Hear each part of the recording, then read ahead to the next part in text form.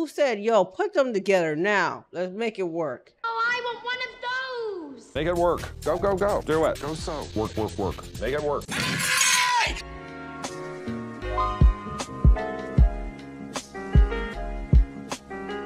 Sam O'Nella or Sam Unella. Did I say Sam Sam O'Nella? Where animal scientific names come from. Oh.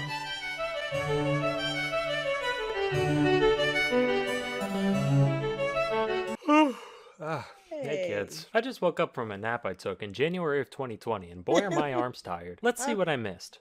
Hmm. A lot. Dead, war in Ukraine, the Taliban's back. What what is holy shit. They made a movie called Scoob. Unprecedented global pandemic, Space Jam 2, some popular guy named Brandon. Yep, that just about covers it. Anyway, we all know about the scientific names of animals, but did you ever wonder what they actually mean? To find out, we must look Kinda, to sometimes. taxonomists. They're the guys responsible for the systems of nomenclature we use to classify organisms. What kind of animal is that with a foot? You know what? That's the thing. I believe it's out there somewhere. I don't know where, but I believe that's the thing. Nope. Shoot, we don't know what's out there. First, you got the big eight domain, kingdom, phylum, class, order, family, genus, species. I've seen plenty of mnemonic devices for this, but since the D just showed up in the 90s and is still disputed by some scientists, Did he say the D just showed up in the 90s? like devices for this, but since the D just showed up in the 90s and is still disputed by some scientists, he's usually not included. So allow me to suggest a few. Dizzy kids puke cereal on fairground staff. Wow. It's just like the planets. My very educated mother just ordered us nine. No, not pizzas, because that bitch ain't there no more. Pluto was a thing, you know? Dumb kittens pushing cups over feeds growing spite. Wait, wait. Dumb kittens pushing cups over feeds growing spite. oh, that. Donkey Kong's Donkey Kong's comes. Oh, fucking serendipitously. The way this whole thing works differs slightly dep- The way this whole thing works differs slightly depending on which kingdom you pick. So today we'll be sticking to the animal one cuz that one's the coolest and I'm in it. So what constitutes each taxon is pretty arbitrary. They basically just serve to act as another set of branches in the tree that taxonomists build. The one exception is species, which is generally defined as any group of animals that can have babies with each other that aren't sterile freaks. Mule, liger, zedonk, skunk ape, they can live fulfilling lives, but they're all shooting blanks, so they don't count. On the other hand, in our innumerable trespasses against That's God, can make dog? things like chidandanes, which actually work, so Oh, dogs are dogs are dogs. Wait a second. Chihuahuas and. Da- no! I did not hear. Ch- no! Say that Against again? God, we can make things like chidandanes, which That is not a thing. Holy crap! Why would you do that? Who came up with this idea? Who said, yo, put them together now? Let's make it work. Oh, I want one of those. Make it work. Go, go, go. Do it. Go so. Work, work, work. Make it work. Creating a crossbreed, creating a cross, blah, blah, blah, or design, designer breed. You call them design. Excuse me, Chewy. I, I, I, I see you. I see you all day, every day.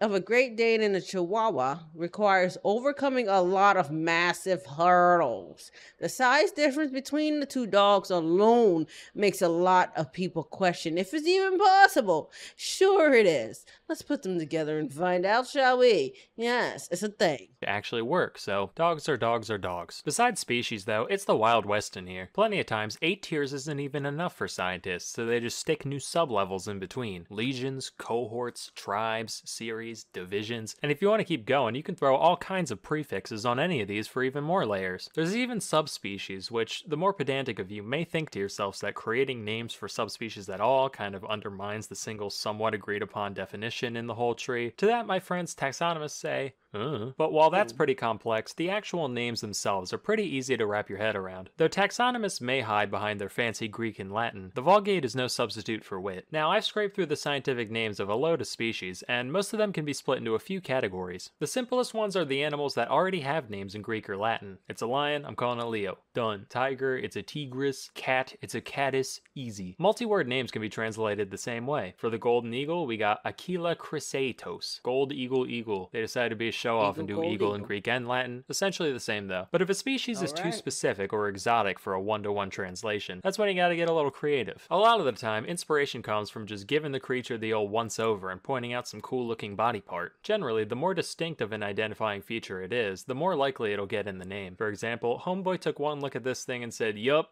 Red triangle slug. I'm going on break. We call this thing a fucking unicorn, almost like that means one horn or something. Also, some guy deadass looked at an octopus and said, Well, all they got is heads and feet. I'ma call 'em headfoot. And now biologists everywhere say cephalopod unironically. Matter of fact, if it's got feet, chances are that's part of its name somewhere. You got four feet, six feet, eight feet, ten feet, two feet, Hear me? equal feet, both feet, double feet, stomach feet, lip feet, sucker feet, wing feet, big feet, slow feet, or feet, both feet, joint feet. United States, Canada, Mexico, Panama, Haiti, Jamaica, Peru. Hey! Now, if you need to learn this for some project, by all means, get to thinking and memorizing. You got four feet, six feet, eight feet, ten feet, two feet, equal feet, both feet, double feet, stomach feet, lip feet, sucker feet, wing feet, big feet, slow feet, or feet, both feet, joint feet, no feet, 10,000 feet, cow's feet, spade feet, cat feet, small feet. If it doesn't look that interesting, another thing to point out is where you found it. This could be a territory like American bear or Siamese crocodile, or just a habitat like woods macaque or toilet rat. But that's boring. Oh, We need to look at the men toilet behind the magic and what drives and motivates them. Now, if there's one thing that the scientific community loves, it's clout. And there's no better way to go down in history than plastering your own name on some shit you found. But not all fields have the same volume of things to scribble the old John Hancock over. On the one end, you got physicists just making up their own slightly different form of ionizing radiation measurement. And even then, only the top dogs got away with it. Now, zoology, any little goober flouncing through the underbrush can say, This one has 13 spots, but the one in the book's only got 11. I will call him Splinkus's ladybird. Alternatively, plenty of biologists have given shoutouts to their contemporaries, both other biologists and those across the academic gamut, from geologists to physicists to explorers and more. Naturally, Darwin's got a shitload, but even the background characters get immortalized one way or another. Who are Thomson, Grant, Soemmerring, Erlanger, Speke, and Cuvier? I don't know, but they've all got gazelles, so they must be pretty cool. Of course, other times the name checks go to people who had fuck all to do with anything except for one taxonomist being a fan of Wow. Wow. Wow, wow. It's been so long since I've seen that face, and I swear he started a lot of shit. I see his footprint throughout all of the newbies out there. anything except for one taxonomist being a fan of theirs. Plenty of popular celebrities have species named after them, but since all the big cute stuff was found and branded a while ago, most of these idols are commemorated through repulsive little invertebrates. You got Scaptia, Beyonce. The only similarity Beyonce, only similarity I can gather here is queen bee, looks like a bee, both not a real bee. There's Anomphalus jaggerius, an old stone named after an old stone. In 2007, one Jason Bond, a professor of biology at UC Davis, dubbed this little dude Myrmekiaphila Neil Youngie to honor his favorite musician, which caused my man Stephen Colbert to go on TV and profess his utter indignation at not having a spider named after himself. So naturally, the next year, Bond actually went on the Colbert Report to announce the naming of Aptostichus Stephen Colbert. So, if that This gives for any of you epic biologists out there any ideas, you know, I wouldn't be opposed. Please, I would do anything. For the love of God, I'll even take a lichen. The world of politics is by no means immune to this phenomenon. Obama alone has fucking nine, as do a load of other presidents. Trump's got a moth with funny hair, Bush has a fungus beetle, Reagan's a wasp, Carter's got a darter, and so forth. Oh, even for Austria's real? most famous painter got the honor through this blind cave beetle. Mind you, it was 1933, so you can only blame the guy a tiny bit. Hitler actually wrote him a letter saying, Oh, thank you, my little entomolomensch, and then went on to do, you know, Hitler things. Fun fact not only was this beetle stuck with just about the worst name you could have, it's also now facing extinction solely because of its value to Nazi memorabilia collectors. Guess old habits die hard. Oop, fictional characters have their fair share of species under their belt. On the topic of evil beetles, this one's named after Darth Vader because he kind of looks like his helmet, I guess. This was actually named by the same guy who did the Bush one and belongs to the same genus. Hmm. There's also this mite, genus Oh. Darth Vaderum, which is a lot more accurate and frightening. In Oh, yeah, 2012, fair- a single bone from above the eye socket of a hitherto unidentified theropod dinosaur was being studied. And suddenly, under the light of the full moon, the guy working with the specimen had his neck covered with hair and his lips clench into a pog and his endocrine system fill with soy, and he said, It's just like the eye of Sauron. And then he started chewing on Funko Pops and sweating cream of meme and snorting G Fuel and shitting D20s everywhere until the prostate stimulation made him. The dino's genus is now Sauroniops, from Eye of Sauron. This spider was named after Godric Gryffindor because it looks like the sorting hat. I can't believe what I'm hearing right now. I just never thought it went this deep. I didn't even know half of these things existed.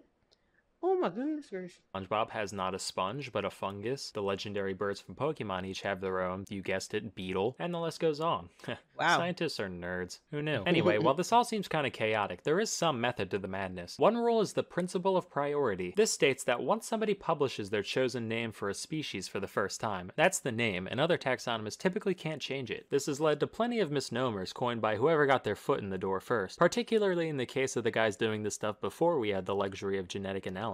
Here's one. Red panda? Nah. Shining cat, coined in 1825. Aw. To be fair, they're actually about as close to cats as they are to actual pandas, so whatever. Here's two. Capsicum chinense. Eaten there? Sure. Native? Only off by around half a globe, where literally all hot peppers came from. This principle holds true even if someone thinks they found a new species, only to later discover that it was already named. For example, in 1824, one John Edward Gray documented the plain zebra, calling it Equus burchellii, or Burchell's horse, named after a renowned of the day. Little did he know, back in 1785, some other douche classified this character as the quagga. The last quagga died in a Dutch prison in 1883. A so prison? why do we care? Well, in the 2000s, scientists decided to scrape some gunk off a dry quagga pelt and study its DNA. And from that, they realized, wait a minute, apparently this guy and zebras could have, you know, made a little plaid in the hay together. So technically, they're one species. And today, they're both called quagga. Sounds kind of asinine, but then again, so does asinus, and that worked out fine. Just to maintain the distinction, the extinct subspecies was renamed quagga quagga, so you know it's the real quagga. This double naming convention has been done with a lot of subspecies, in fact. Wild wild horse, spotted spotted panther, or my favorite, gorilla gorilla gorilla. Just like, yeah, it's the gorillest gorilla that ever gorilled. Fuck you want from me. A closely related rule also states that the names of all taxa have to be unique. So if two people coincidentally name any taxa on the same thing, the older one gets to stay and the new one gets the boot. Like if you saw a genus called echidna, you'd think it was, you know, an echidna, right? Well, no, that'd make too much sense. For a while it was true, from 1797 to 1811. Then it was pointed out that someone else already called a genus of moray eels echidna back in 1788, so the real echidna had to be changed to Tachyglossus, or quick tongue. Then a decade later, a dude did the same thing for a genus of vipers. Another 22 years passed, people discovered the same thing, and they were renamed to Bitis, cause they bit us. That one always made a bit of sense, given that the original echidna from Greek mythology was half lady, half snake, but who cares at this point? Anyway, I've Wow. just barely scraped the surface of all the goofy names out there, so feel free to post more down below. That's all I've got for now. Till next time, I'm Sam O'Nella, and I'll see you in Salmonella. 2025. 2025. All right. We'll see you in 2025. Wonderful. I couldn't grasp on to half of that. I just know there's a lot of bugs and a lot of species and a lot of names.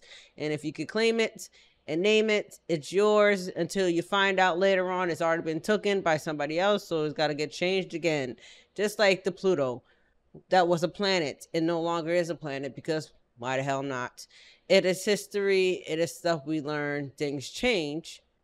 Sometimes it's hard to change but nonetheless, the world changes, and you can either go in kicking or screaming, or you can just change with it. It's up to you. I see this world is evolving every damn day. It's a fascinating thing. I just wonder what the hell I'm going to be looking at in my diaper in my bed. Yeah, boy, I'm going to be bitching and complaining, huh? Going in kicking and screaming? I think so. But there we go, Blaze Squad. I hope you guys enjoyed. If you did, make sure you blaze the like button. If you made it all the way to the end of this video, go ahead and comment. What's your favorite animal? species, plant, something. And I will see you guys in the next one.